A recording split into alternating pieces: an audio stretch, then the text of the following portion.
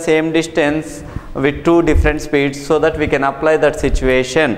Now let's see how I can calculate. What is the speed? Here in the first case that is the downstream speed and in the second case upstream speed. So it is equals to 2 into S1 means downstream speed into upstream speed is Y by downstream speed plus upstream speed. So it is the formula 2xy by x plus y where x and y are downstream and upstream speeds respectively. Now let's see the questions how we can expect related to this. Generally they will ask a question like a boat is going a boat is going to a point to a point and then and then return now if it is having 12 kilometers per hour while going and 8 kilometers per hour in return find the average speed that means here what we need to understand is 12 is nothing but x downstream speed and 8 is upstream speed. So we know that the average speed is equals to here 2xy by x plus y. So 2 into 12 into 8 by 12 plus 8. So this is nothing but here 24 into 8 or 16. So 160 uh, plus 32. So 192 by 20. So here you can calculate the speed as so when you take here 9s and 6s so 9.6 kilometers per hour so average speed become 9.6 in this case uh, when it is going to a point and then return to the starting. So this is how we can calculate the required average speed when the downstream speed and upstream speeds are given. Suppose instead of downstream speed and upstream speed I am saying here current rate current rate is 10 kilometers uh, current rate is 2 kilometers per hour and speed in still water speed in still water is 10 kilometers per hour now excuse me so what we are having here is current rate and uh, speed in still water. We don't have any current here downstream speed and upstream speed. But this formula is related to here downstream speed and upstream speed. So whenever you know current rate and downstream here speed in still water, you can find out the downstream speed x as a plus b which is uh, 2 plus 10 12 kilometers per hour and whenever you know this so you can find here y value as a minus b which is 10 minus 2 so that is 8 kilometers per hour. So in this way you can calculate those values and substitute here. If not directly in the formula 2 into x plus means a plus b into a minus b by here a plus b plus a minus b. Directly you can substitute here. Whatever it is you will get if not sometimes we might be taking directly 2 into here a square minus b square by if you calculate 2a 2 2 get cancelled. So it is equals to a square by b square by a. Even you can substitute in that equation also. A square minus b square by a if not in the same 2xy by x plus y by taking xy values first. Whatever it is it will be same. Because we are calculating xy values substituting there or we are writing the formula for xy values and taking that both will get as the same value so it's your choice. If you want to substitute directly xy first calculate that and substitute. If not ab values you can substitute. Now based on this concept they will ask some questions like the question will be a boat is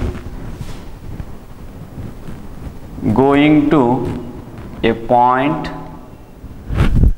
a boat is going to a point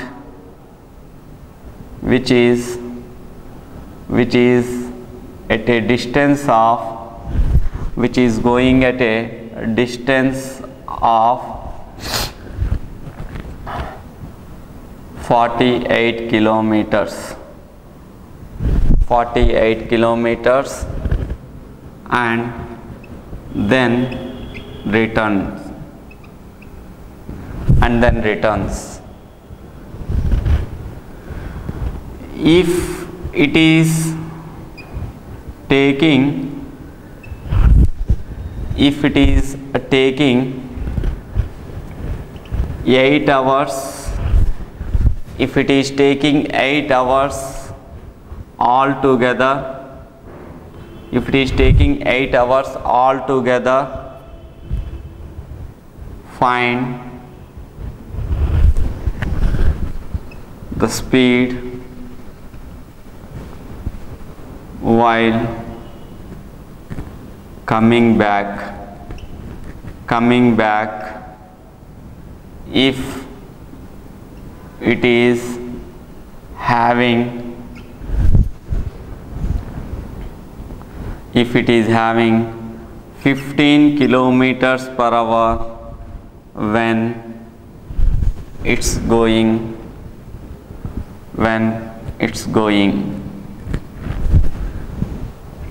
so this is the question so what they are asking is a boat is going to a point which is at a distance of 48 kilometers. So the boat is going from this point to another point which is at a distance of 48 kilometers. Now then uh, returns. So from that point it's coming back. Now if it is taking 8 hours altogether. So it's taking here 8 hours all together. So going to that point and coming back. So all together it requires 8 hours. Now find the speed while coming back. So when it's coming back I want the speed if it is having 15 kilometers per hour speed when it's going. So now when it's going it is having 15 I want the speed when it's coming back. Now let's see what is the meaning of that. Suppose if you take the situation as it's going from the point A to B. When it's going instead of AB let us take PQ so that there is no confusion related to the speeds.